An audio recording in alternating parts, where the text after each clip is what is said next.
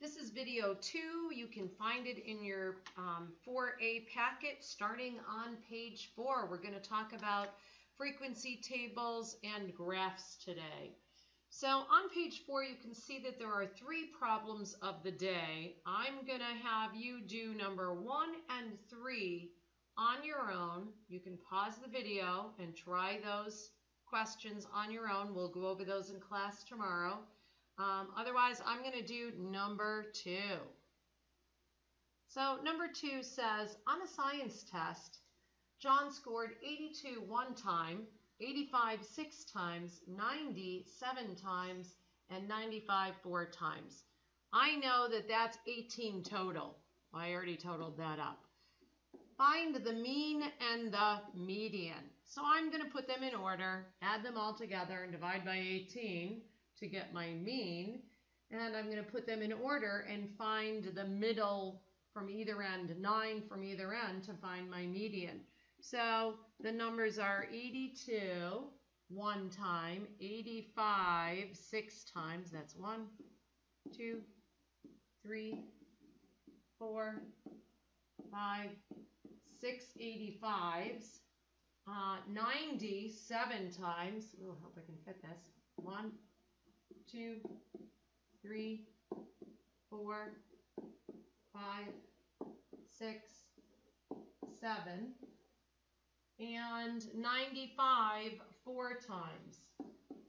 One, two, three, four. So again, I'm just going to count to make sure I have 18. 1, 2, 3, 4, 5, 6, 7, 8, 9. 1, 2, 3, 4, 5, 6, 7, 8, 9. So yes, I did do that correctly. My median is exactly between those two 90s, which are exactly the same. So I don't have to add them together and divide by 2. I'm going to get 90 anyway. So my median is 90.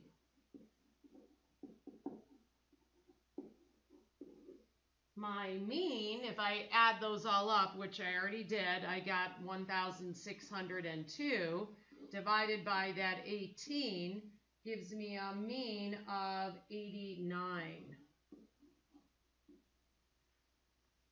So when I have an even number of pieces of data, I'm going to have two middle numbers. If they're not the same, you have to add them together and find their average, but they were the same. The median's 90 the mean is 89. So go ahead and do number one and three. We'll go over those in class. On to the next page. So page five talks about frequency tables, which we did a little bit yesterday.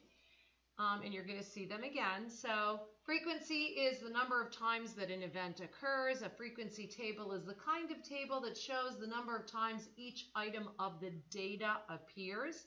The range is the difference between the greatest and the smallest number in the data set. The scale contains all the numbers from the set. It can be a little bit less than the smallest data point and a little higher than the smallest data point, but you don't want it to be too big. The interval separates the scale into equal groups of data numbers. And the data is the raw information or what you gathered, for instance, in your survey. So the weights of the modified wrestling team, and this is, you know, just a created problem. I don't know if it's this year's wrestling team or not. So I'm going to put this information into a frequency table and then draw a histogram of the weights of the modified wrestling team. So the range, my highest weight is 129 pounds and my least weight was 68, so their range is 61. The range is 61, highest minus lowest.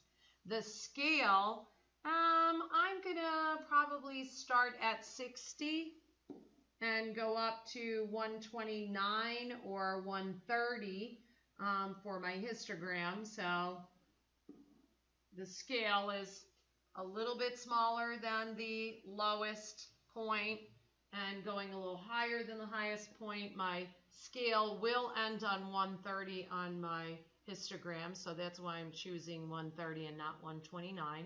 I'm going to count by tens. So my interval is 10. So I'm going to put the weight of these wrestlers into um, groups of 10. I'm going to count by tens, starting with my smallest, which was 60 to 69. That is 10 data points. So 70, I don't want to have any overlap, so I can't say 60 to 70 and then 70 to 80, because then 70 would go in two places. So I'm counting by tens. 60 to 69 is 10 numbers, 70 to 79, 80 to 89, 90. So fill in as I'm filling in, 90 to 99, uh, 100 to 109, 110 to 119, uh, 120 to 129. So my scale on my frequency table was 60 to 129. But on my histogram, so on the table, it's 60 to 129, but on the histogram, it's going to be 60 to 130. Um, and I'm going to tally my table values. So my first value here is a 71, 68. So I'm putting them into the correct 10 data point interval, 120, 119, 100, and tell me if I do it wrong tomorrow in class, 129, 75, 97, 123, 119, 93, 103. So I've done all of these. Uh, 114, 98, 119, 121, 92, 102, 102, 126, which makes, I'm going to cross that, 99, cross that one, 77, 125, 118, cross that one, and 100. So I have one in the 60 to 69, 3, 0, 5 tallies, 4, 5, and 6. And I like to get a total at the bottom of my table. So um, that 1 and 3 is 4, 9, 13, 18. Were there 24 people on the wrestling team, I'm hoping? One, two, three, four, five, six by four is 24. Yes, so I got all my data points. Um, I do that to make sure that I have the same number. It's my little check to make sure I have the same 24 data points on my frequency table that was originally in my original data.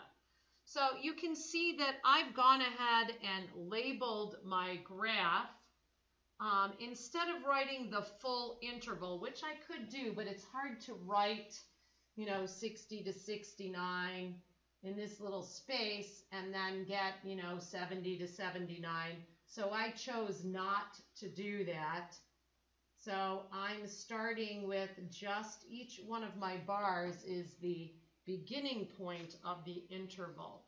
So as I draw my histogram, which is a bar graph that's connected because it's usually data, it's in an interval. Um, no, um, uh, my data is grouped by intervals, not by individual categories, which is why it's a histogram. So I have one wrestler who's in the 60 to 69. So you should be using a ruler, please. Find a straight edge around your house or a ruler. I'm going to use my little ruler tool here that I have. And I'm going to draw a bar that's only one unit high for my 60 to 69 weight range. And I have from 70 to 79 a bar that's three high. Remember, they touch. And nothing for my next height. So nothing from 80 to 90. From 90 to 99, it should be five high. Um, 100 to 109 is 4 high.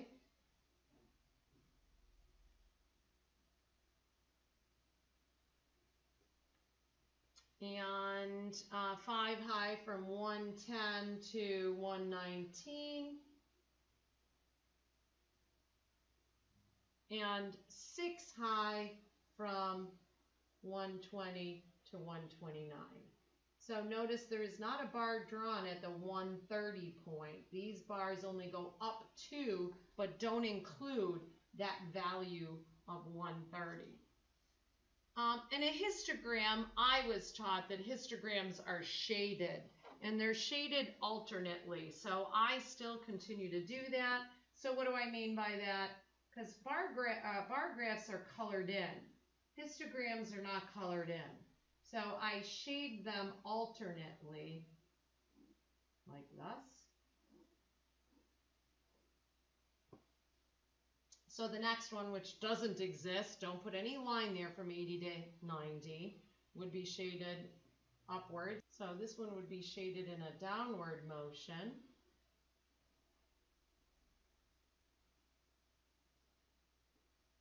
And this word in an upwards motion.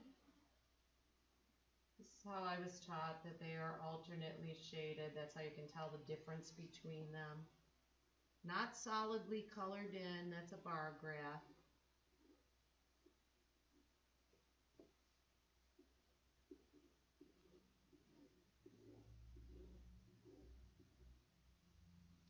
So I have all four of my 24 data points. I've labeled my x-axis, weight, how am I keeping track of it? It's not kilograms, it's pounds. Number of wrestlers on my y-axis, and I've given it a title. Don't forget your title up here. So the next page, page six talks about solving a histogram problem. And you can see that Here's a, again, another interval um, question, which is why it's a histogram. And you can see that they're drawn a little bit differently.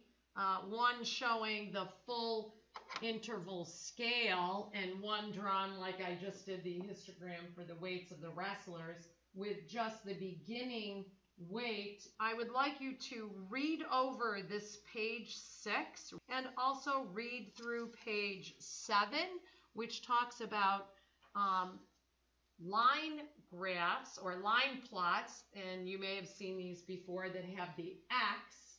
Now we make dot plots, and these would all be dots. And stem and leaf plots, and um, a double stem and leaf plot. So read over carefully page six and seven, and then I will go over some of this information in class tomorrow.